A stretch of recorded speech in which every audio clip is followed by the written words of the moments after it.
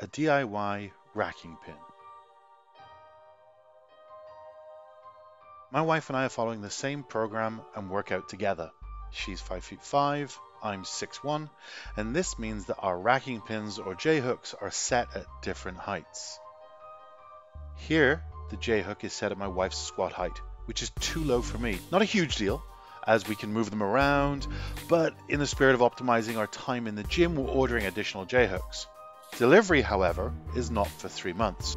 So I decided we need some interim solution. The design must support about 350 pounds, preferably more. It must allow for pin height to be changed, and it must allow for bar repositioning in the horizontal plane. I must be able to move the bar left and right, because I don't always rack it right in the middle. As my power rack is 3x3 uprights with 1 inch pinholes, this design is using 8 inch long, half inch black iron pipe, black iron floor flanges, and 1 inch white PEX pipe. Using black iron pipe, I should be able to support in excess of 500 pounds.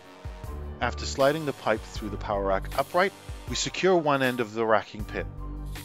Screw this end on tightly. Then screw the other end on lightly. This will butt up against the power rack upright and will allow us to remove it to change the racking pin height positions. Now we have a relief on the other side, which is where we will rack the bar. But many people don't like metal on metal contact with their barbell. They don't want to damage it in any way. So we will be adding a PEX pipe covering to protect that. Now this serves two purposes for us.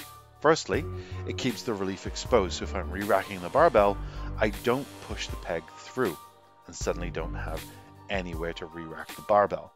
Secondly, it enables the bar to be moved horizontally with relative ease. And that's it. It's really that simple a peg, two ends, and a plastic pipe. I hope you've enjoyed this video, and I hope that it helps you out in some way. So thanks for watching, and I'll catch you on the next one.